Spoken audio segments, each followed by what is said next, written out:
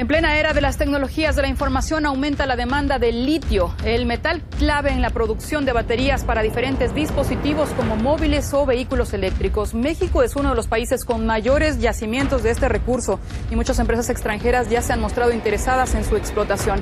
Sin embargo, el gobierno mexicano enfoca con calma la entrada de capital extranjero en esta esfera. De hecho, contempla la posibilidad de nacionalizar la producción de litio ni para China, ni para Rusia, ni para Estados Unidos.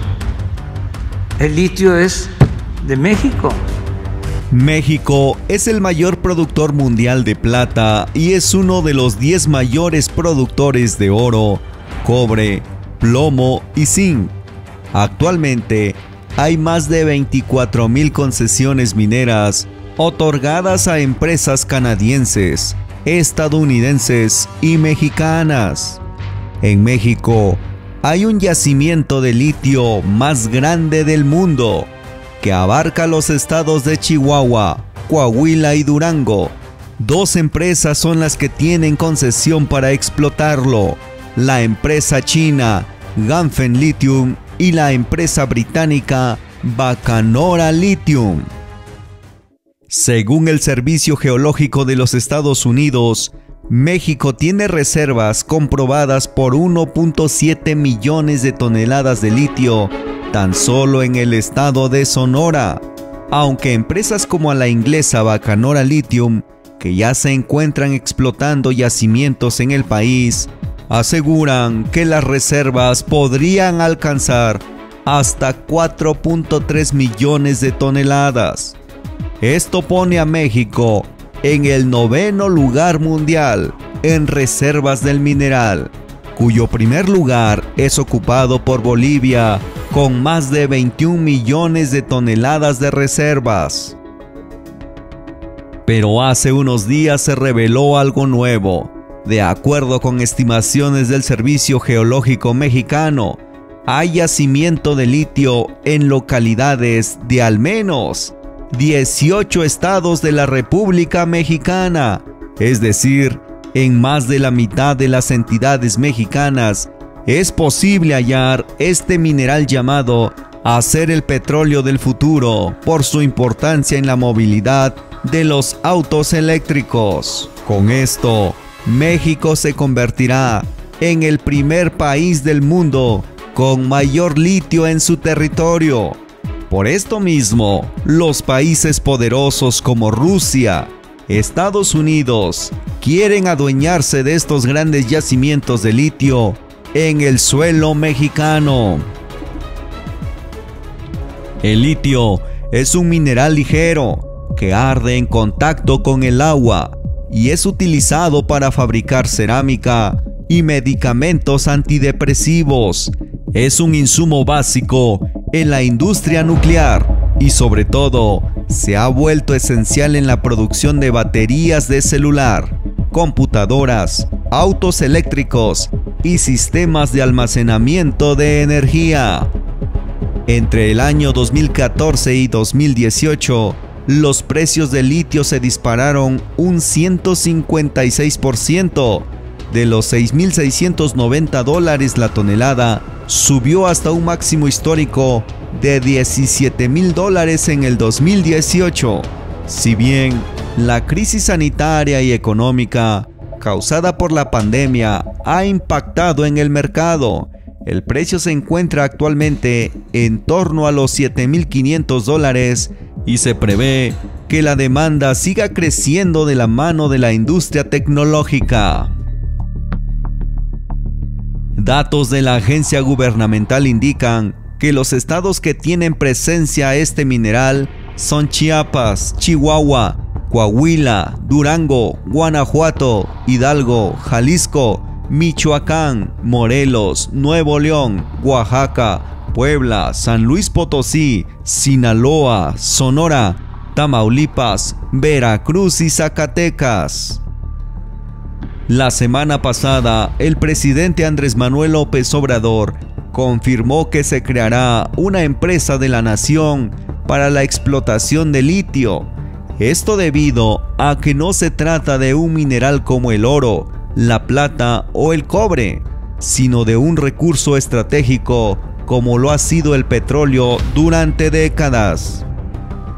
Lo anterior se suma a declaraciones previas hechas por Flor de María Hart, directora del Servicio Geológico Mexicano, y con Rocío Nale, titular de la Secretaría de Energía, respecto a una compañía estatal con dichos fines. En octubre pasado, la directora del Servicio Geológico Mexicano reveló que el gobierno invertirá en los siguientes dos años 55 millones de pesos en la exploración de litio. Esto con miras a encontrar un yacimiento económicamente viable en alguna de las localidades en las que el organismo ha encontrado presencia. Parte de dichos recursos fueron aprobados para este año en el presupuesto de egresos de la Federación 2022. Se registra un monto de 34 millones etiquetados para el estudio de 82 localidades con litio en México para definir si son económicamente viables. Dicha cifra representa más de la mitad de los recursos totales aprobados para el Servicio Geológico Mexicano. Según datos del Servicio Geológico Mexicano, Sonora es la entidad del país con mayor número de localidades con presencia de litio, dado que son 13, entre ellas se encuentra Bacandehuachi, lugar donde Bacanora Lithium controla el sitio con mayor potencial del país. El proyecto de Sonora ha sido catalogado como el yacimiento con las mayores reservas del mundo y de acuerdo con estimaciones de Bacanora, en su primera etapa de producción generará 15 mil toneladas de litio al año, mientras que en una segunda alcanzará las 35 mil toneladas anuales. Los otros estados con mayores localidades donde se ha localizado litio son el estado de Puebla, con 12 localidades, seguido por Oaxaca, con 9, Nuevo León, con 8, Durango, con 7, Chihuahua 5, Tamaulipas 5, el estado de Coahuila con 3, Guanajuato con 3, Hidalgo y Jalisco con 3. También se encuentra el estado de San Luis Potosí y Zacatecas con 3 localidades el estado de Chiapas, Michoacán, Morelia, Sinaloa y Veracruz solamente con una localidad con presencia de litio.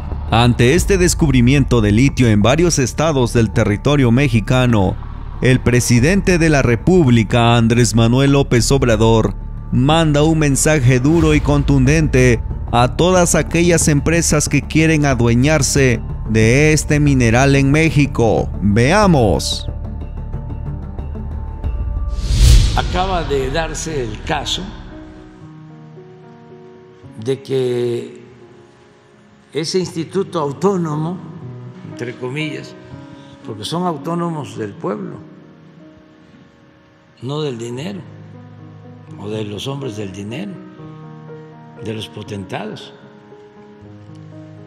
permitió que una empresa china comprara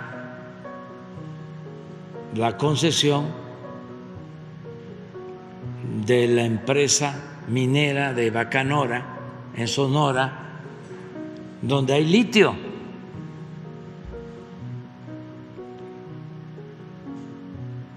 Imagínense cuando estamos planteando que el litio es de México que es un mineral estratégico. El litio no va a ser ni para China, ni para Rusia, ni para Estados Unidos. El litio es de México. Pero miren a lo que llegan estas eh, instituciones creadas durante el periodo neoliberal.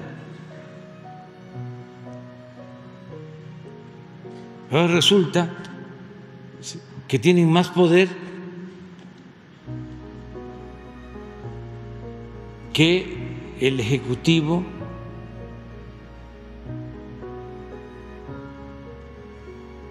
y que pueden entregar bienes estratégicos a extranjeros y nuestra soberanía y la defensa de nuestros recursos estratégicos, ¿dónde queda? Eso acaba de pasar hace un mes, antes de que terminara o está por terminar la presidenta, que supuestamente muy recta y muy estricta el grupo. ¿Quiénes son? ¿Quién sabe? ¿Cuándo crearon esto? ¿Lo montaron en paralelo a las llamadas reformas estructurales? Porque el propósito era saquear y que se perdiera por completo la soberanía del país. ¿Cómo el litio se va a entregar a potencias extranjeras. No solo es porque pertenece a México, ¿cómo nos vamos a meter nosotros en una guerra comercial? Porque no estamos hablando del carbón, es litio. ¿Para qué nos metemos nosotros en eso? Claro que ya hubo reclamo de Estados Unidos, porque ellos pues traen diferencias comerciales. Nosotros no queremos confrontación con nadie y defender lo nuestro y ser autónomos. Porque no nos conviene. Pero eso es lo que eh, han hecho eh, estos órganos autónomos. O sea, todo el modelo que este, implementaron para el saqueo, para eh, someter al gobierno de México.